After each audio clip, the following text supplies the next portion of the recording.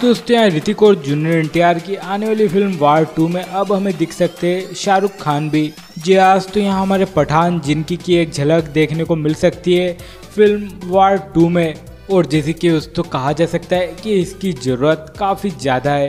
Just या film war to, जिसमें कि हमें ऋतिक और जूनियर एनटीआर एक साथ दिखने वाले और फ़िल्म में दोनों स्टार आपस में भिड़ेंगे भी और एक साथ मिलकर भी एक्शन करेंगे।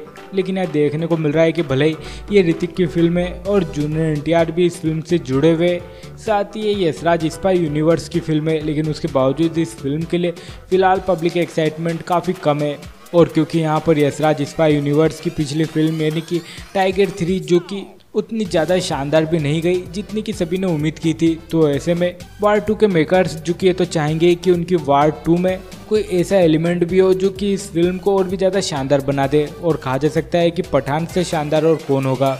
जस्ट तो यहाँ पहले ही जानने को मिल चुका है कि फ़िल्म वार टू में शाहरुख हमें दिख सकते हैं, लेकिन जैसे कि उस तो अब एक बार फिर से कहा जा रहा है कि शाहरुख जो कि फ़िल्म वार टू के लिए अपने केमियो की शूटिंग 2025 में करेंगे और ये केमियो कुछ ऐसा होगा जहाँ पर कि शाहरुख अकेले ही दिखेंगे, यानी कि वो ऋतिक और जूनियर एनटीआर के साथ में नहीं दिखेंगे।